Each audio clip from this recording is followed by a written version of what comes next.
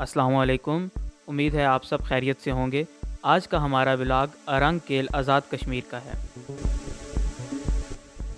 Earning Kel Azad Kashmir کے ضلع نیلم، جسے نیلم ویلی بھی کہا جاتا ہے، اس کی تحصیل شاردہ کا ایک چھوٹا سا گاؤں ہے۔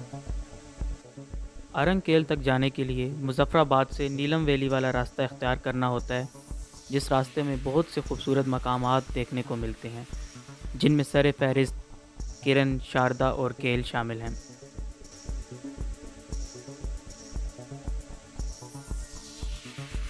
یہ راستہ بہت ہی خوبصورت اور دلکش نظاروں پہ مشتمل ہے۔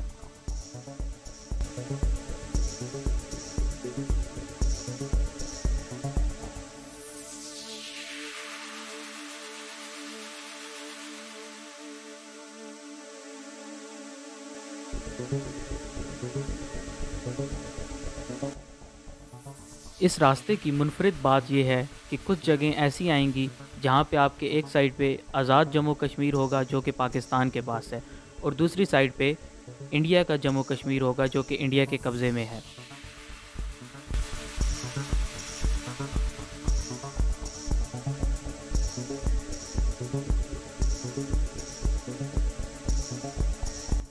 اور اگر روڈ کنڈیشن کی بات کریں تو مظفر آباد سے کرن تک روڈ کی کنڈیشن کافی بہتر ہے اور کرن سے لے کے شاردہ تک تقریباً نارمل سا روڈ ہے یعنی کہ نہ بہت زیادہ خراب روڈ ہے اور نہ بہت ہی زیادہ اچھا۔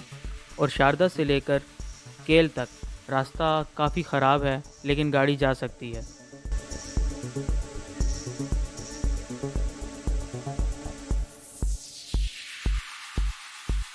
ہم اسلام آباد سے رات کے ٹائم نکلے اور آرام سکون سے سفر کر کے تقریباً صبح نو دس بجے تک کیل پہنچ چکے تھے۔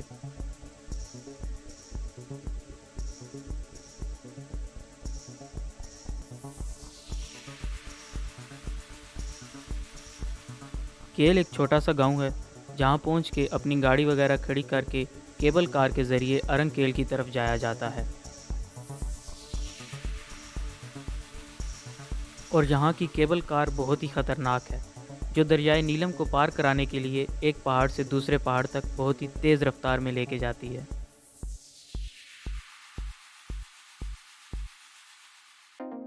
کیبل کار سے اترنے کے بعد تقریباً آدھا پونا گھنٹہ ہائک کر کے ارنگ کیل تک پہنچا جاتا ہے۔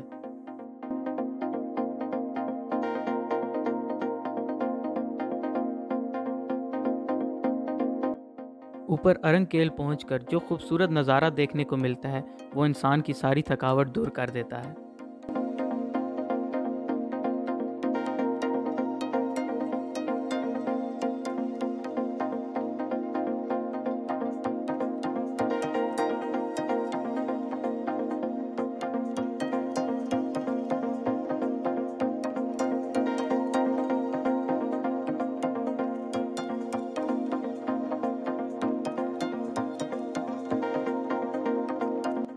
ارنکیل پہنچ کر ہم لوگوں نے روم لیا اور فریش ہو کے نکل پڑے ارنکیل کی خوبصورتی کو دیکھنے۔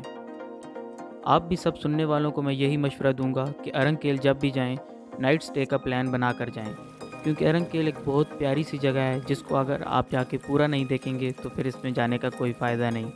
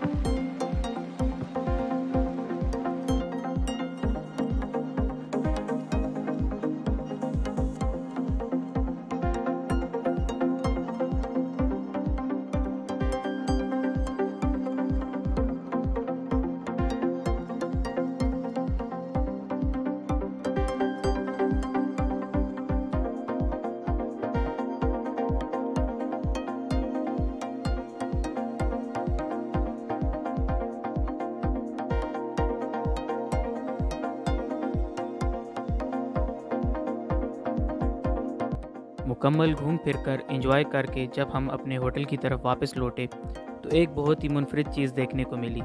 ارنگ کیل کا کوئی بھی زمینی راستہ نہیں ہے، لیکن یہاں پہ ایک ٹرک موجود ہے، جو کہ مقامی لوگوں کے مطابق سارا کھول کر لفٹ کے ذریعے لایا گیا ہے اور اوپر لا کر جوڑا ہے، جو کہ یہاں کے لوگوں کے استعمال میں ہے۔ لوگ اس پر اپنی چیزیں وغیرہ لوڈ کر کر ایک جگہ سے دوسری جگہ تک لے کے جاتے ہیں۔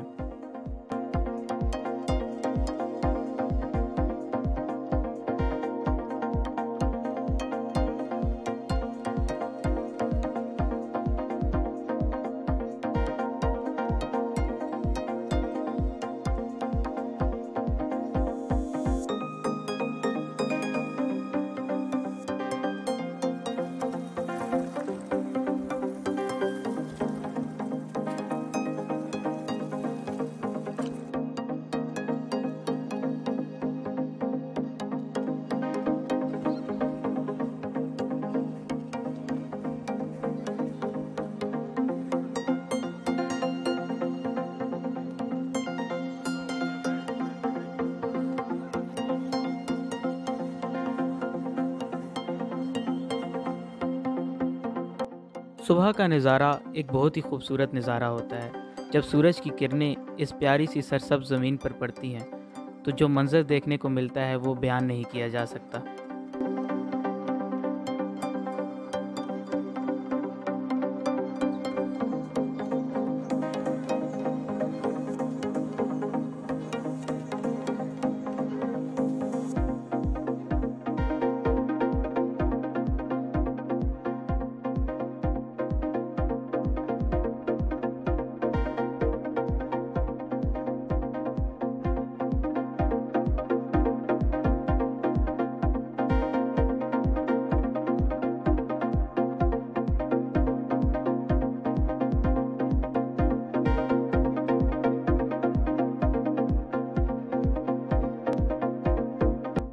ان سامنے والے پہاڑوں کے پیچھے کشمیر کا وہ حصہ ہے جو انڈیا کے پاس ہے۔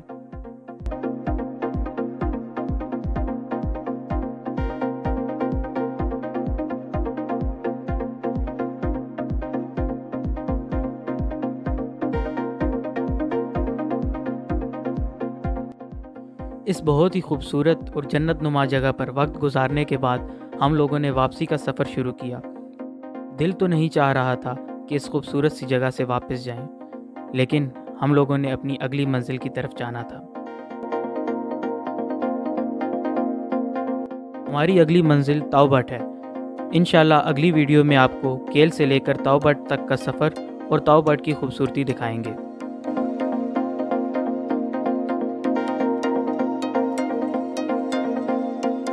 یہ ویڈیو آپ کو کیسی لگی ہے کمنٹس میں ضرور بتائیے گا۔ اور اگر اچھی لگے تو لائک اور اپنے دوستوں سے شیئر ضرور کریے گا۔